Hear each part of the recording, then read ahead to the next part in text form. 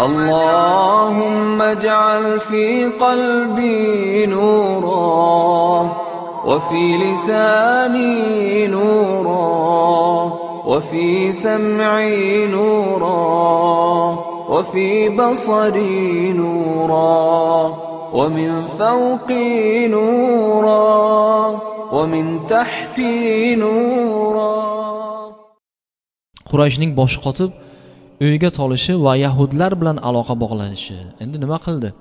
Agar shu peshvolardan bittasi chiqib aytdiki ba'zi rivoyatlarda aytiladiki nazr ibn haris aytgan ekanki agar bu haqiqatdan payg'ambar bo'lsa agar kelinglar bir e, ahli ilmlardan yahudiylarni o'sha ularda bor bu narsa.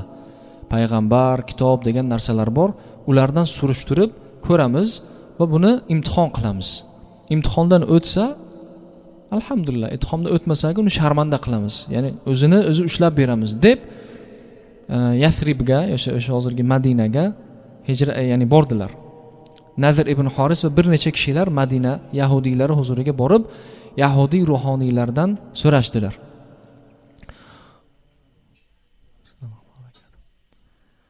So'rashdilar. Ularga shunday yo'l ko'rsatishdi. Ya'ni yahudiylar aytishdi. Ya'ni so'rashdilarki bizga shunaqa bir arab chiqqan o'zini payg'ambar deyapti. Bizga shunaqa bir savol berki uni imtihon qilaylik. Imtihondan o'tadimi yo'qmi? Keyin ular aytishdi. Yahudiylar aytishdiki ruhoniylar sizlar payg'ambar o'sha davo qilayotgan payg'ambardan uchta savol so'ranglar. Qani agar uchoviga javob bera olsa haqiqatdan payg'ambar bo'ladi. Javob bera olmasa aks holda unday kimsani o'limga mahkum qilish kerak. Sizlar qilayotgan niyat to'g'ri bo'ladi. O'ldirasizlar qo'yasizlar shu to'g'ri bo'ladi deydi. Birinchisi undan so'ranglar. Avvalgi zamonda uzoq vaqt yo'q bo'lib ketgan yigitlarning ishi qanday bo'lgan? deb so'ranglar. Hmm? chunki ularning ishi juda qiziq kechgan yahudiylar aytishyapti. Ularning kitoblarida ham bor bu.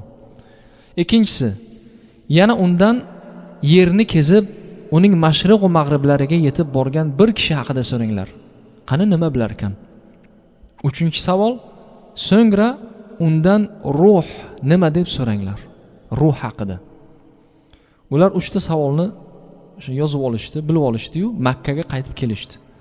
Nazr biz sizlarga muhammad bilan bizning o'rtamizni uzil kesil ajrim qilib beradigan narsani olib keldik dedi. Va yahudiylarning gaplarini qurashga yetkazdi. Ana hozir ko'rsatamiz sizlarga. Endi bu yerda shov bo'ladi. Hammani chaqirgan hamma kelgan savol beryapti musulmonlar ham hamma joyda makkada kabada. Payg'ambarimiz sallallohu alayhi vasallamni chaqirib deyishdiki bizlar seni imtihon qilamiz. Ana shu uchta savolni to'g'ri javob bersang agar ya'ni payg'ambarliging ko'riladi ma'lum bo'ladi. Javob bermasang kazzobliging ma'lum bo'ladi seni o'ldiramiz deyishdi. Ya'ni shunaqa bir shartlar qo'yishdi. Keyin kelib payg'ambarimiz sallallohu alayhi vasallamdan ana shu uchta savolni so'radi. So'radilar payg'ambarimiz sallallohu alayhi vasallamning o'sha har kungi yo kun aro jibril alayhissalom bilan bo'ladigan uchrashuvlari bo'lgan paytlari bo'lgan edi. U kishi aytadilarki ertaga kelinglar javobini aytaman dedilar. Ertaga kelsangizlar aniq javobni aytaman dedilar. Hammalari tarqalishdi. Ertasi kuni shu payt kelishdi. Kelib so'rashdi. Nima bo'ldi? Javob. Vahiy kelmagan. Jibril alayhissalom kelmagan o'sha payt.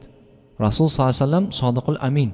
U kishi hech qanaqa bir gapni burib unaqa qilib bunaqa qilib gapiradigan nimalari yo'q. Javob yo'q dedilar. E, hammasi kulishdi qurash ahli. Qanaqasiga? Sen va'da berding. Aminku san. Sodiqul amin. Ertaga deding bo'lmadi. Bu ollohning ishi xohlamadi bo'lmadi deydi. Ikki xil rivoyat bor. Oradan uch kun yo o'n besh kun o'tadi. o'n besh kun masxara qiladilar. Quraysh keladi faqat kabani oldiga. Nima bo'ldi? Javob kelmadilar bugun. Bo'lmadi jibril alayhissalom. Mana ko'rdingmi? Xalqlar kazzobligini ko'rdingmi? Qara u bu masxara psixologический moralniy azob bu. Qarang payg'ambar bo'lib turib bilib turib shu narsalarni to'g'ri bu kishi hozirgacha bilmaydilar. Lekin ilojlari bor lekin alloh taolo imtihon qildi bir hikmati bor edi bu yerda. O'n besh kun o'tib vahiy kelmay qoldi. Shunda quraysh u zotning ustilaridan kular va masxara qilar edi. Va nihoyat kahf surasi nozil bo'ldi. Kahf surasi qur'onda o'n sakkizinchi sura undan oldingi sura isro surasi o'n yettinchi sura. Ana shu ikkita sura nozil bo'ldi. Subhanalloh bularning javoblari bu alohida biron kun agar olloh nasib qilgan bo'lsa agar kahf surasini tafsirlari bor juda ham go'zal mashaalloh nasib qilgan bo'lsa shuni biron kun o'tamiz. Ana shu surada ikkita surada u yahudiylar bilmaydigan informatsiyalar bilan to'la mukammal qilib alloh taolo javob berdi. Ularni kitobida ham yo'q edi bu narsa. Xo'sh. Birinchisi savolni o'sha esingizda bo'lsa agar aytdimu undan avvalgi zamonda uzoq vaqt yo'q bo'lib ketgan yigitlarning ishi qanday bo'lgan deb so'ra deganida o'sha ashabul kaf g'or egalari g'or egalari haqida alloh taolo sura nozil qildi. Boshini ham alhamdulillahillazi anzala ala abidihi kitaba va lam yaj'al lahu ivaja bu hamd bilan boshlaydi. Subhanalloh. Bu yerdan ulamolar juda ham ko'p narsalar olingan. Isro surasi bilan kahf surasining bog'liqlik joyi bor. Isro surasini oxirida ollohning farzandi bor deydi bular deydigan gap bilan tugaydi.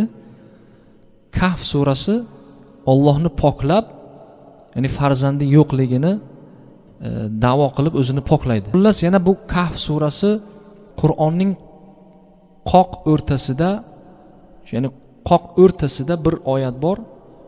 Valiyatalattof deydigan oyat bor. Ana shu oyat qur'onning o'rtasi deydilar. Latif degan so'zdan olingan ya'ni yumshoqlik chiroylilik go'zallik degan mazmunlarni beradi. Ana shu valiyatalattof degan joyi qur'onning qoq o'rtasi ekan. Bundan tashqari bu ichida ko'pgina mo'jizalar bor hikmatlar bor. Buni biron kun alohida gapirib beramiz inshaalloh. Ana shu ashobul kafni qiroat qilib berdilar. Ikkinchisi boyagi dunyoni kezgan podshoh zul qarnayn bilasizlar zul qarnayn ana shu hozirgi ba'zi nimalar da'vatchilar bu aleksandr makedonskiy deb chiqqan ekanlar bu aslida bunaqa emas. Aleksandr makedonskiy mushrik o'sha butparast shunaqa ya'ni mushriklardan bo'lgan uh, zulqarnayn odil podshoh ya'ni muvahhidlardan bo'lgan. Hech qanaqa aleksandr makedonskiy bilan uni aloqasi yo'q. Xullas ana shu zulqarnayn haqida alloh taolo oyat nozil qildi. Uni ham aytib berdilar. Va yahudlar uchinchi savolni so'raganda aytgan ediki uchinchi savol ruh haqida so'ra agar ruh haqida javob berishni boshlasa agar bilginki u kazzob. Chunki u ruh haqida hech qaysi payg'ambar ilmga ega bo'lmagan bu ollohning g'ayblaridan deb aytishgan edi. Buni qarangki alloh taolo isro surasining o'n yettinchi oyat e, sakson beshinchi oyatida aytyaptiki ruh. Sizdan ruh haqida so'raydilar. Ruh haqida kelib so'raydilar. Shuni ham aytyapti alloh taolo. Quli ruhi min amri robbi. Aytginki ruh robbimning ishidir. U bizga berilmagan ish robbimning ishidir.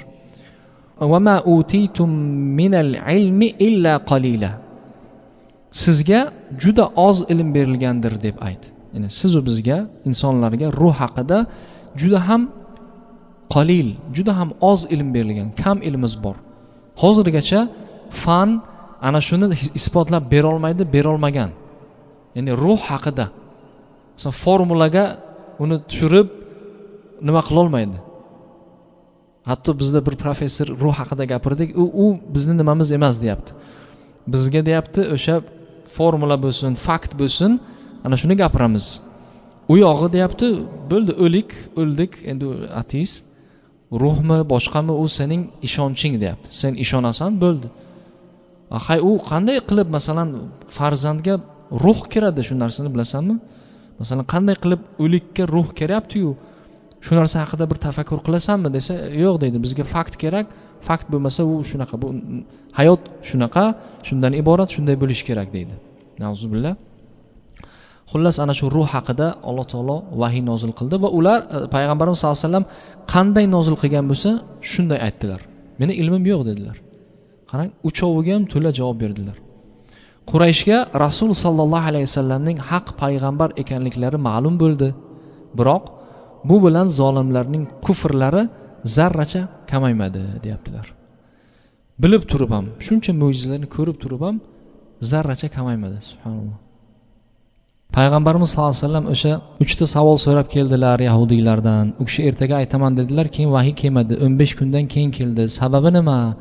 deganda sababi rasul sallallohu alayhi vasallam ertaga kelinglar aytaman inshaalloh demaganlari.